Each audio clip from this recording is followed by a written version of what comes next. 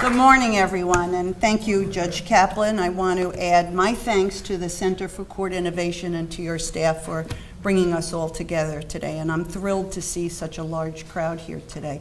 You know, um, when I was first elected a judge, I was elected to the county court in Westchester County, the criminal court. And my very first assignment as a trial judge was to the family court. And I went there kicking and screaming. I didn't even know, very candidly, where the family court was. But as I like to say often and loudly, my assignment in the family court was the highlight of my time as a trial judge. I learned so many things uh, through my service on the family court bench.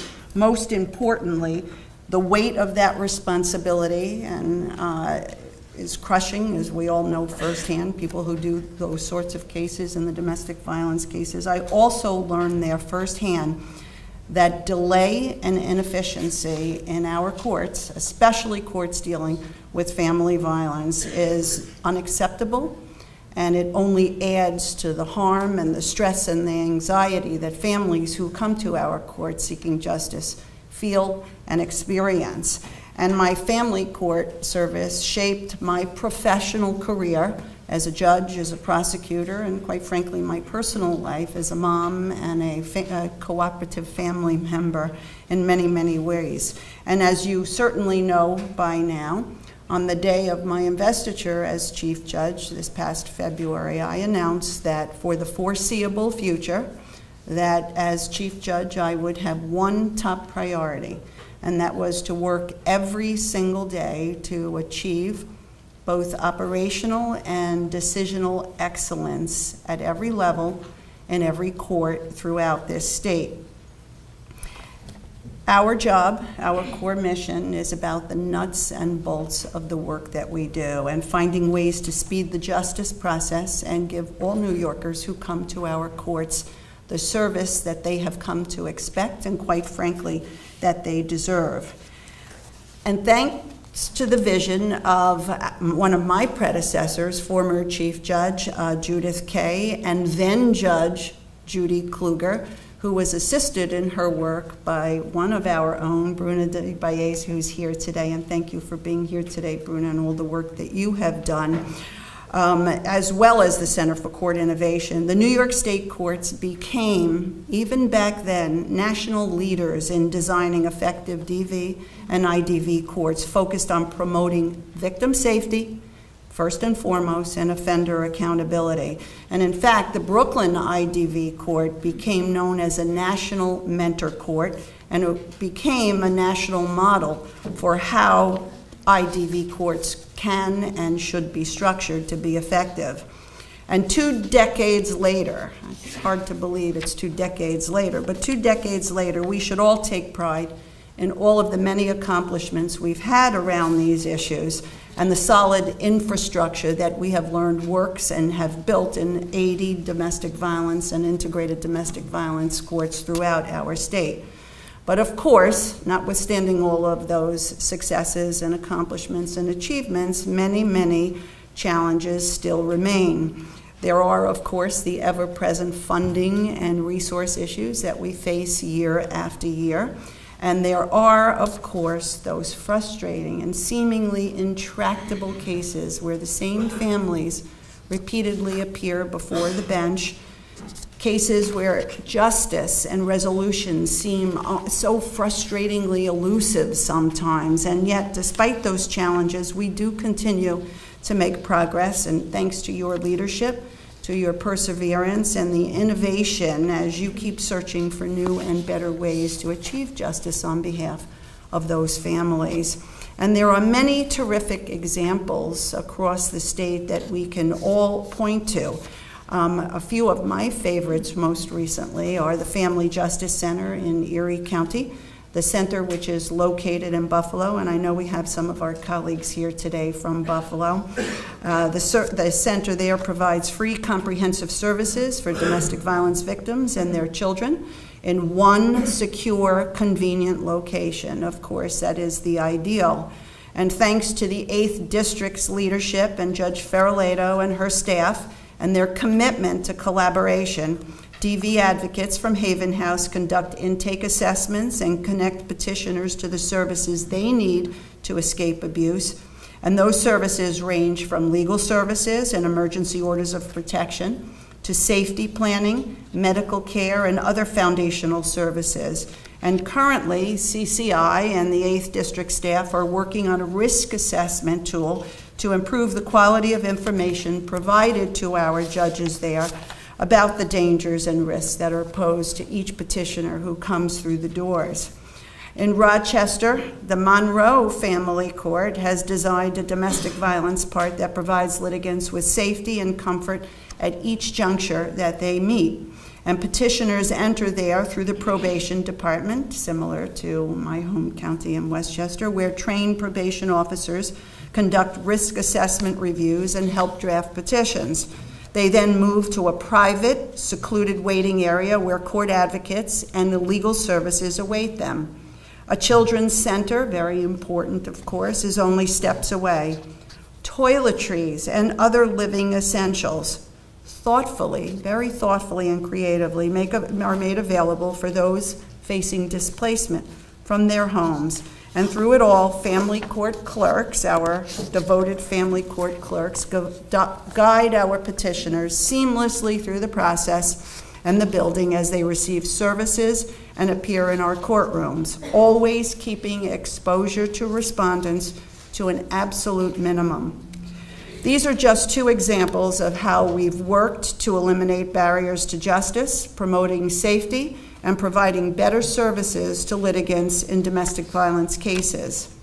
Now, of course, in order to accomplish our shared goals, we have to be willing to step out and take the lead in convening and building the necessary networks with community stakeholders and partner agencies at the state and local levels, and to work collaboratively with them to start a new standard of excellence in New York's DV courts. Particularly in the domestic violence area, these networks must be broad and inclusive, as we've learned. Probation officers, prosecutors, defense counsel, child protective services, attorneys for the children who are specially trained in domestic violence, advocates, substance abuse professionals. The list does seem endless, but they all play an important role, and they all, each and every one of them, must be brought to the table for discussion and inclusion. As I expressed to you earlier, my personal experience in the trial court was both fascinating and instructive on so, so many levels.